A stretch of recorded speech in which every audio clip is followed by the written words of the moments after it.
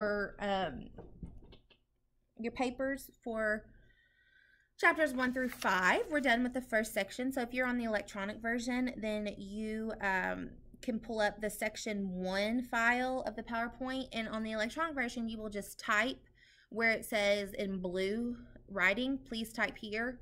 Um, and then just save it. And then you can email it back to me or have your grown-ups email it back to me. If you're on the paper packet, it's all the same stuff. So don't think that someone's doing something different than the others. Um, because I promised you that they're not. Um, on the paper packet, um, let's look at the dictionary detective. That's page four. Um, it's asking you to define the words immediately, missionary, distracted, fortunate, consolations, and congregation. I helped you with one of those today. Um, so you could just do something quick and easy right there um, that you don't have to have like a 17 sentence long definition. Um, and then the next one is matchup. It wants you to match the words in the left column to their definitions in the right column. So it gives you those same um, vocabulary words and some definitions. So maybe we can, you know, hint, hint, wink, wink. Um, and it wants you to match them. And then it has um, fill in the blanks. So it wants you to fill in the sentences with the correct vocabulary word. And then down at the bottom, it says a little extra. In your opinion, what is the most interesting word from the first five chapters, and why do you think it's interesting? I would really love to hear your thoughts. Next, it asks you some multiple choice questions and some short answer and long answer questions. Um, ooh, I really like the a little extra at the bottom of page six.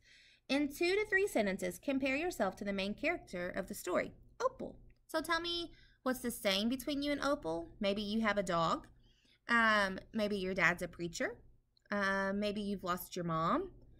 Something, you know, like that. Maybe you are new to someplace and and you don't have any friends.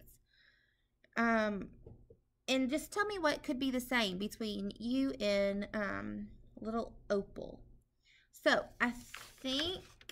Oh, and then the last thing for chapters one through five um, is remember we talked about chapter titles. We talked about that with our um, with our text features. Uh, so number one says if you could give a title to this section of the book, what would it be? So what could we name chapters one through five? Like if we were going to put that in like its own little like group, what could we name that? And I want you to tell me a quick summary of what happened in those chapters. Okay, so do I want you to rewrite the whole thing? No. You guys know that I don't like to read anything extra like that, right? So just tell me a short summary. Tell, tell me something that happened at the beginning, something that happened in the middle, and something that happened at the end. Remember, what a summary tells us, like in order. Remember, we needed it to be in order of the of how they happen um, for the summary.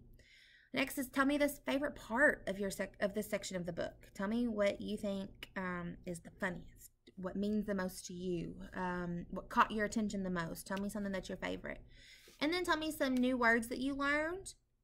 And number five says draw a picture of something you think represents the first five chapters. So just something simple. Maybe you're going to draw the Open Arms Baptist Church. Maybe you're going to draw a picture of the mouse flying out the door um, just something that that really stands out to you about chapter five or one through five. I'm sorry, chapters one through five. So I know this video is a little bit longer than normal um, because we did this little wrap up at the end, but we will discuss, like I said, um, on our Zoom call next week on Tuesday, April 28th at 10 o'clock in the morning. Um, I'll send out information about that, don't worry. But I would really like it if you could have chapters one through five read by then so that we can have really good conversation. Uh, I think on our last Zoom call with Mr. Dietrich, it was a lot of me talking, and I would like to be able to um, let us all talk. Okay. So, anyways, I love you. I'm recording this on Friday, so I hope you have a great weekend. Um, I've cleaned out your desks. Um, some of y'all was real messy, by the way, real messy. Um, so, anyways, I love you all so very much. And I can't wait to read some more book with you. See you later.